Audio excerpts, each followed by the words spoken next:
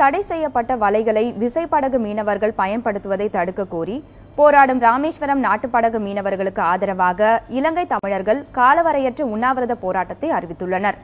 Norway மீன்பிடி திட்டத்தின் கீழ் இரட்டை மடி சுருக்கு மடி உள்ளிட்ட வலைகளை பயன்படுத்தி மீன்பிடிக்கும் முறை அறிமுகப்படுத்தப்பட்டதிலிருந்து கடல் வளமும் மீன் வளமும் பாதிக்கப்பட்டுள்ளதாக நாட்டுப்படகு மீனவர்கள் குற்றம் சாட்டியுள்ளனர். எனவே இதுபோன்ற வலைகளை பயன்படுத்தக்கூடாது என மத்திய மாநில அரசுகள் தடை விதித்துள்ளன. எனினும் விசைப்படகு மீனவர்கள் தொடர்ந்து இவற்றை பயன்படுத்தி வருகின்றனர்.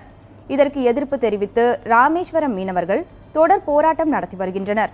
அவர்களுக்கு ஆதரவளிக்கும் வகையில் இலங்கையில் உள்ள தமிழர்கள் தொடர் உண்ணாவிரத போராட்டத்தை அறிவித்துள்ளனர்.